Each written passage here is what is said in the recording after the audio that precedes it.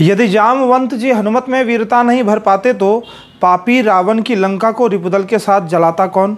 पापी रावण की लंका को रिपुदल के साथ जलाता कौन? यदि कृष्ण सारथी बनकर के अर्जुन को मिले नहीं होते, यदि कृष्ण सारथी बनकर के अर्जुन को मिले नहीं होते, तब दुष्ट कौरवों को रण में गीता का पाठ पढ़ाता कौन? तब दुष्ट कौरवों को रण में गीता का पाठ पढ़ाता कौन? यदि जटा खोल चाणक्य कभी कभी धर्म नहीं बतलाते तो? यदि जटा खोल चाणक्य कभी कभी धर्म नहीं बतलाते तो? नृपचंद्र गुप्त को भारत का सिरमौर भला पहनाता कौन? यदि नारद रत्नाकर डाकू को ज्ञान नहीं नहीं दे पाते तो यह राम कथा रामायण से जनमानस तक पहुंचाता कौन? यदि मानस की चौपाई को तुलसी ने नहीं लिखा होता, तब राम नाम की महिमा का घर घर में अलग जगाता कौन?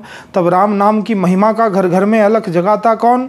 यदि श्लोक महाभारत के कभी मुनि व्यास ने नहीं रचे होते, यदि श्लोक महाभारत के कभी मुनि व्यास ने नहीं रचे होते, तब धर्म युद्ध में अपनों पर शस्त्रों को भला उठाता कौन? तब धर्म युद्ध में अपनों पर शस्त्रों को भला उठाता कौन? यदि वीर चंद वरदाई ने कुछ छंद नहीं गाए होते, तब पृथ्वीराज सा शब्द भी दीवानों को भला चलाता कौन? यदि राघवेंद्र गुरु ने शस्त्रों की शैली नहीं चुनी होती, तब वीर महाराणा प्रताप में स्वाभिमान भर पाता कौन? तब वीर महाराणा प्रताप में स्वाभिमान भर पाता कौन?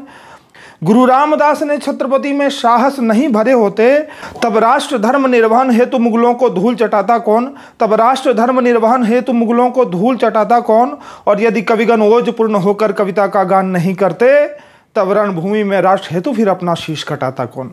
यदि कविगण ओजपूर्ण होकर कविता का गान नहीं करते, तब रणभूमि में राष्ट्र हेतु फिर अपना शीश कटाता कौन? भारत माता की जय।